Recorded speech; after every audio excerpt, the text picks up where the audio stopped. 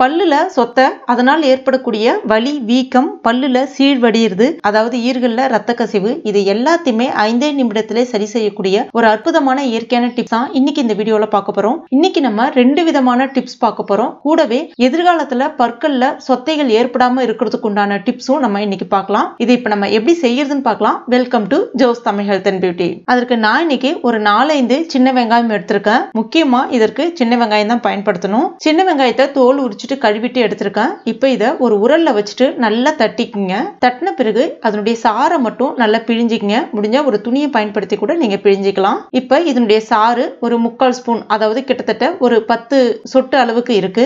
இப்போ இது கூட நல்லெண்ணெய் சுத்தமான நல்லெண்ணெய் ஒரு ஐந்து சொட்டு அளவுக்கு சேர்த்துக்குங்க. வெங்காய சாறு பத்து சொட்டு எடுக்கிறீங்கன்னா அதுல பாதி அளவுக்கு நல்லெண்ணெய் பயன்படுத்துங்க. இப்போ இது ரெண்டுத்துமே நல்லா ஒரு முறை கலந்துருங்க. இப்போ இது ரெடி ஆயிடுச்சு. இது வந்து உங்க சொத்தை பற்கள்ல ஒரு ஐந்து சொட்டு போல அப்படியே விடணும். எப்ப விடணும்னு பாத்தீங்கன்னா உங்களுக்கு இப்ப வலி இருக்குன்னா உடனே இதை நீங்க செய்யலாம். பல்வலி அதனால் ஏற்படக்கூடிய வீக்கம் எல்லாமே பட்டுன்னு வந்து சரியாகிடும் அதுல இருக்கக்கூடிய அந்த கிருமிகளும் வெளியில வர ஆரம்பிச்சிரும். மேற்கொண்டு அந்த பூச்சி மற்ற பல்களுக்கும் பரவாமல் தடுக்கும். பற்களினுடைய வேர்களில் ஏதாவது பாதிப்பு இருந்தாலும் சரியாகிடும் ரொம்ப ரொம்ப ஒரு அருமையான டிப்ஸ் அஞ்சே நிமிஷத்துல சரியாயிடும். கண்டிப்பா ட்ரை பண்ணி பாருங்க. இப்ப நம்ம இன்னொரு டிப்ஸும் பார்க்கலாம். இதுவும் நல்ல ஒரு கை கண்ட பலனை கொடுக்கும். இதுல எது உங்களுக்கு கிடைக்குதோ அதை நீங்க பயன்படுத்திக்கலாம். அதற்கு நான் இன்னைக்கு நல்ல ஒரு ஃப்ரெஷ்ஷான கொய்யா இலை எடுத்திருக்கேன். கொய்யா இலை கொய்யா பழம் விற்கிறவங்க கிட்ட கேட்டிங்கனாலே தருவாங்க. அவங்ககிட்ட இருக்கும். இதை இப்போ நல்லா ஒரு நாளாக மடக்கிட்டு உங்களுடைய சொத்தை பற்கள் இருக்கக்கூடிய பகுதிகளை வச்சு அடைக்கிடுங்க. நல்லா மெல்லுங்க. ஃபர்ஸ்ட் வரக்கூடிய சாரை வந்து கீழே துப்பிடுங்க. ரெண்டாவது மூன்றாவது வரக்கூடிய சாரை வந்து நல்லா விழுங்குங்க. நல்லா மென்னு விழுங்குங்க. இதை நீங்க சாப்பிட்ட ஒரு அஞ்சே நிமிஷத்திலே பாத்தீங்கன்னா உங்களுக்கு அந்த பற்கள்ல இருக்கக்கூடிய அந்த கிருமிகள் முற்றிலுமா அழிஞ்சிடும் அதனால் ஏற்படக்கூடிய அந்த வலி வீக்கம் எல்லாமே வந்து குறைஞ்சிரும். ரத்த கசிவு அதாவது சில பேருக்கு அந்த பற்கள்ல ஆட்டம் காண்றது ரத்த கசிவு அந்த சொத்தை பல் இது எல்லாமே முழுமையாக சரியாகிடும். அடுத்த பல்லுக்கும் பரவாது. ரொம்ப ரொம்ப ஒரு அருமையான டிப்ஸ் இது.